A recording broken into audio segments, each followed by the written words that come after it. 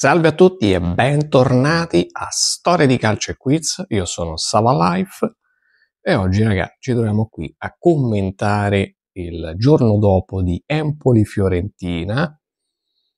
È un derby che ha lasciato la mare in bocca, un derby che ci ha regalato una Fiorentina bruttissima, una Fiorentina che ci lascia molte perplessità, una Fiorentina che, che non migliora peggiora anzi, quel poco che si era visto di buono nelle partite precedenti, ieri si è completamente sgretolato. Siamo ritornati di nuovo indietro di eh, tantissime giornate. Siamo praticamente al primo ottobre ancora non abbiamo capito, non abbiamo idea di che tipo di filosofia Palladino voglia dare a questa squadra, un gioco, qualcosa, non si vede niente, proprio niente. Ieri proprio cioè, si è visto la totale confusione, la totale anarchia in campo, dove ognuno fa quello che vuole e tenete presente questo punto perché ci torneremo uh, verso la fine del video. Quindi eh, la situazione è molto molto mh, mm, grave, diciamo, perché arrivati al primo ottobre ancora non vedi sprazzi di gioco e ovviamente non potevo pretendere di vedere già tutto che funzionasse alla perfezione, ma almeno un'idea di gioco la voglio vedere voglio vedere qualcosa.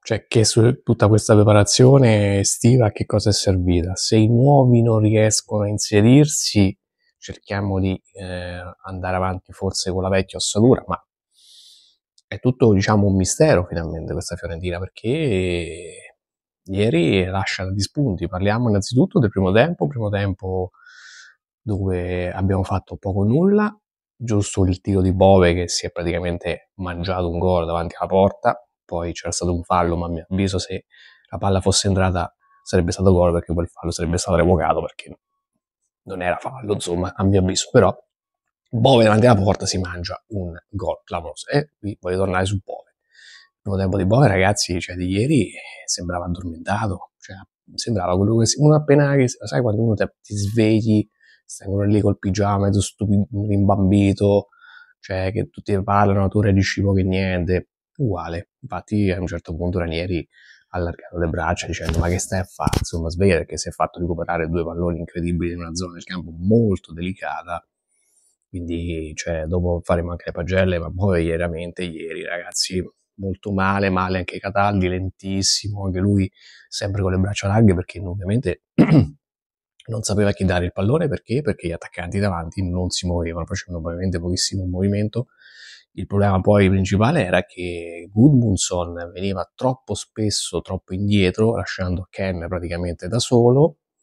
E perché arretrava? Perché per cercare qualche, per venirsi a prendere un pallone perché non ne arrivavano nessuno. Il problema è che se tu eh, togli Goodmunson dall'attacco e lì davanti c'è Ken da solo a battagliare con tutta la difesa, dell'Empoli che era arroccata lì, perché l'Empoli comunque ragazzi non è che abbia fatto chissà che cosa, era stata quasi tutta la partita chiusa in difesa e quindi era veramente difficile insomma riuscire a penetrare tutti quei difensori da solo con Ken perché poi anche qua me cioè ragazzi io qua me può avere tutta la stima del mio cioè qua ha tutta la mia stima ma com'è possibile? cioè ieri all'improvviso così di punto in bianco qua me è capitano ok, non giocava Piraghi, ma perché qua met capitano?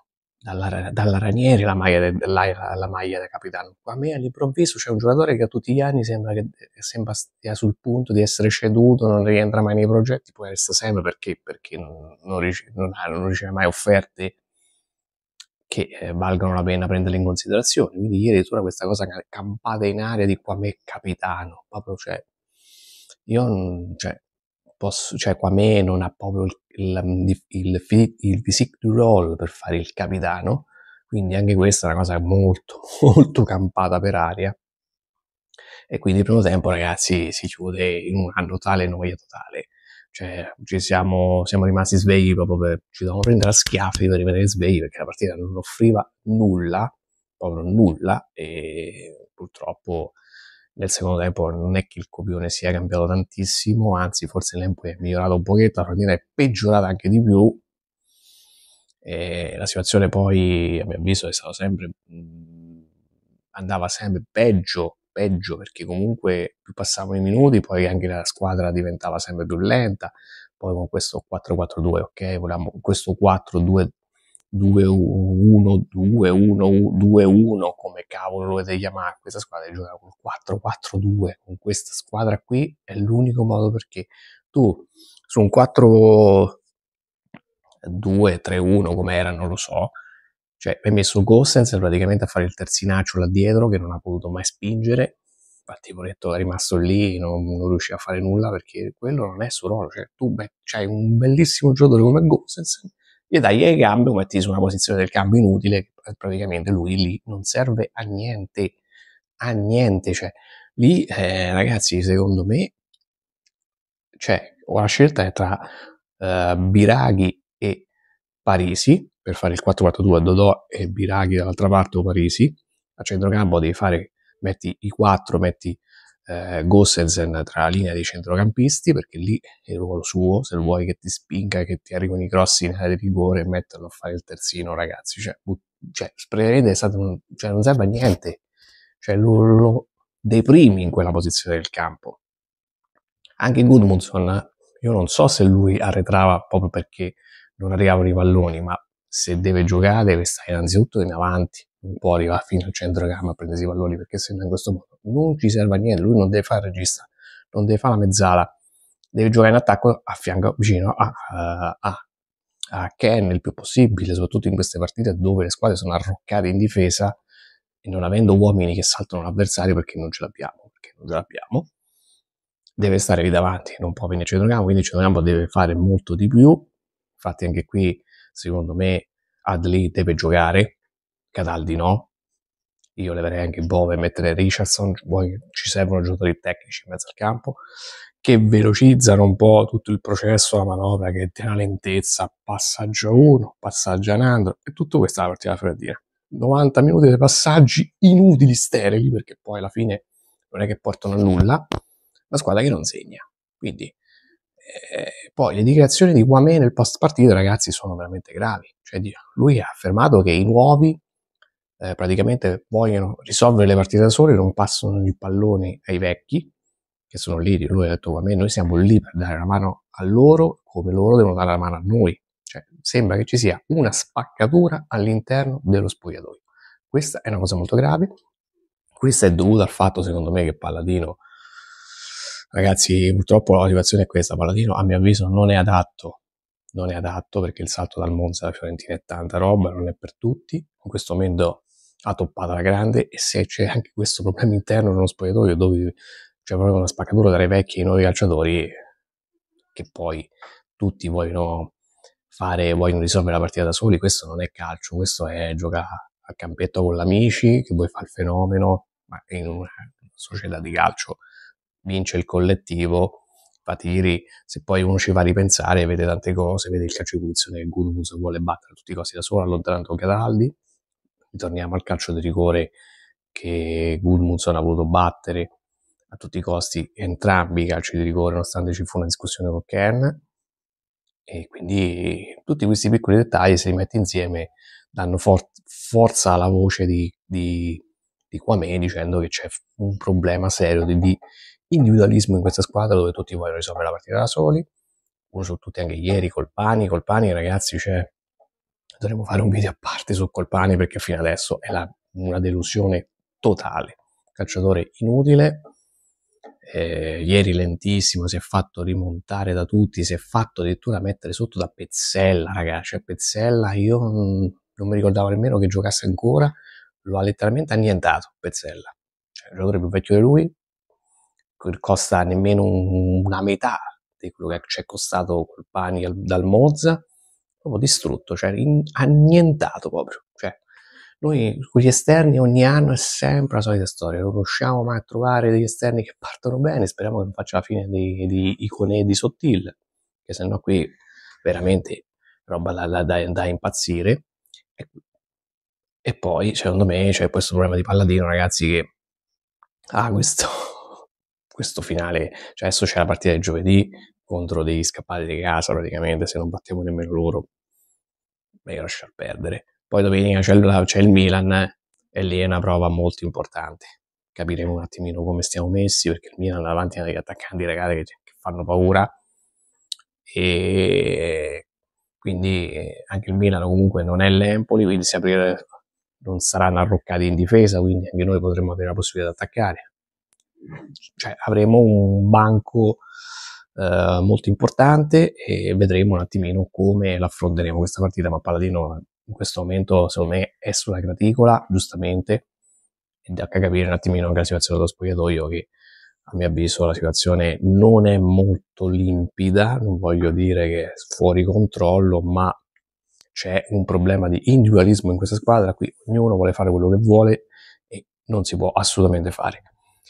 Quindi diamo subito le pagelle velocemente. De Gea 6, 6 e mezzo, cioè ieri praticamente inoperativo perché comunque anche Napoli dicevo non ha fatto praticamente nulla. Dodò forse è tra tutti quello che ieri si è sbattuto un po' di più, io do un 6 e mezzo, anche se è ancora tanto confusionario, non è il Dodò quello che conosciamo, però è almeno è uno dei pochi che tenta qualcosina in più, la giocata, la corsa. Comuzzo 6, ma alla fine eh, anche lui non è che abbia corso chissà che cosa, è stato giusto la munizione, forse un 6 meno, però alla fine Comuzzo anche lui visto già che sta giocando perché non c'è Pogracic, ma io non credo che Comuzzo sarà il titolare in questa stagione, almeno lo spero, perché comunque non mi pare ancora pronto per fare il difensore centrale nella Fiorentina. Ranieri 5,5 tra il 5,5 e il 6, anche lui molto spesso è, fa, è tanto confusionario in campo, non è mai pulito, il difensore deve essere pulito, cioè deve fare troppi eh, magheggi in rigore e tante volte si distrae e perde palloni molto molto eh, problematici. Gossenzen gli do 6 perché Poretto ieri giocava praticamente in porta. Eh, io non so come si possa mettere un calciatore come Gossenzen in quella posizione del campo, è veramente allucinante. Bove 5, partita bruttissima, giocatore lento, ho detto svogliato ieri e mi avviso eh, da rivedere perché se, se questo è il Bove io voglio Richardson in campo, Cataldi anche lui tra il 5,5 e il 6, lentissimo, un giocatore che non ci serve a niente. Noi, noi cioè, ragazzi, troviamo a centrocampo con due, abbiamo titolari due giocatori che sono arrivati l'ultimo giorno di mercato. Uno è Cataldi e uno è Bove. Cioè, vedete come stiamo messi, come stiamo messi. Io credo che la posizione di Cataldi deve essere presa assolutamente da Adli, perché Adli è veramente di un altro livello, non è un fenomeno, ma è, comunque è un altro calciatore. Poi abbiamo Colpani 5, era anche da 4,5, ma io darò 5, Colpani cioè, si deve dare una svegliata, perché va bene tutto, però insomma abbiamo investito tantissimi soldi e questo che stiamo vedendo in questo momento è un calciatore lontanissimo, anni luce da quello che era l'anno scorso. Goodmunson tra il 5 e il 6, anche lui partita flaccida, ma lo dic- torno a quello che dicevo prima perché purtroppo se deve venire anche a centrocampo a prendersi i palloni eh, fatica veramente tanto, lì davanti deve stare in attacco, insomma, ecco, quello non è il suo ruolo. Qua me eh, 5, tra il 5 e il 6, che lui partita qua me tanto non, non stoppa una palla, non fa un tiro in porta. Eh, fa troppa confusione in campo. Io penso che ancora qua me in campo veramente non se ne può più, come non si può più vedere Sottilla. E poi Ken, Ken ieri fa, fa, quello che può, ovviamente anche lui eh, lì da solo fa fatica, soprattutto quando trova appunto difese ferme, sta, statiche, lui fa tanta fatica. Deve venire fuori e prendersi i palloni e con il tiro attualmente non stiamo proprio bene perché l'ho visto tirare un po' di volte, mm, c'è ancora molto da lavorare però ovviamente noi si può chiedere i miracoli, ecco, perché giocare da solo tutta la partita contro la difesa avversaria non è facile. Palladino 4, ragazzi, ieri ha sbagliato completamente tutto e questo modulo può andare bene, però vanno messi gli interpreti giusti, perché se fai un 4 eh, 3-2-1 devono giocare gli interpreti giusti. Gossens non lo puoi mettere lì perché Gossens in quella posizione non serve a nulla. Lì o metti Biraghi o metti Parisi e Gossens lo tiri avanti. In questo modo arrivano anche più cross per Ken, o i giocatori che stanno in area di rigore. Quindi ragazzi poi sui subentrati nemmeno metto voce perché tra Sottil, Iconè e il povero Beltran che gli vogliamo dare? Senza voto. Quindi, ah poi c'è anche l'entrata di Parisi all'87esimo, proprio bellissima quella, stupenda. Proprio la gemma della partita di Palladino. Parisi all'87esimo, dimmi tu che, che cavolo di cambio è, a che serve poi sinceramente. Poi è bello che quando è entrato gli hanno fatto leggere 2000 fogli, cioè mancavano due minuti alla fine della partita, gli hanno fatto leggere 300 fogli. Ragazzi, il video termina qui, vi aspetto nei commenti, fatemi sapere voi come e che cosa state pensando dopo, questo, dopo il giorno dopo questa partita orrenda. Se anche voi avete le vostre perplessità, fatemi sapere nei commenti qua sotto e noi ci vediamo al prossimo video.